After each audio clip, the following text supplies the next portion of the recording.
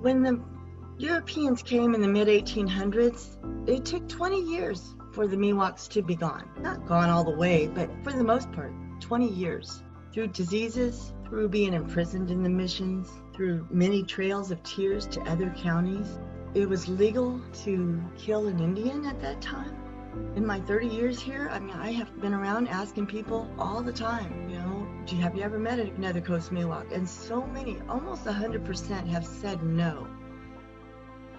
One of the projects I have is making a statue. I've been working on it for a couple years. We are just in, you know, the beginning stages of it. We got the maquette made.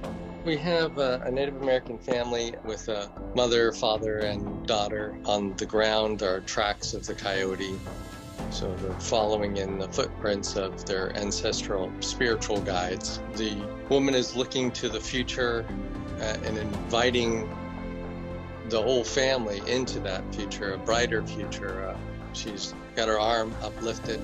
She's trying to say, come on, this is, you know, we're going into a, a new and brighter future. But it's still the remember us, you know, we're rising, we're remembered. We're actually talking about making a couple of statues in Marin County just to make sure that we um, are never forgotten in Marin County. You know, revitalization of a culture, you could say. The man is very proud and strong, as the, the people have been, and still maintaining that uh, positive energy that uh, you know we're not going to give up, we're not going to give in.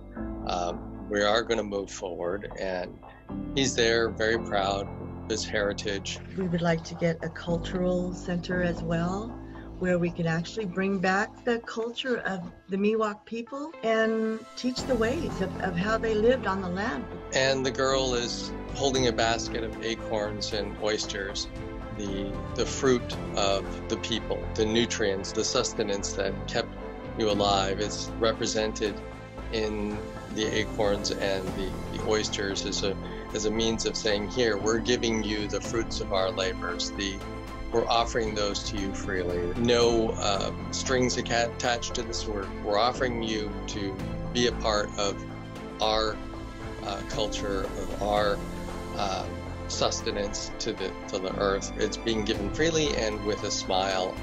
Learn about us, remember us. We're giving to you. Remember us as the as a way of thanking us for this. They lived on the land for those for thousands of years and took care of it and took care of the land.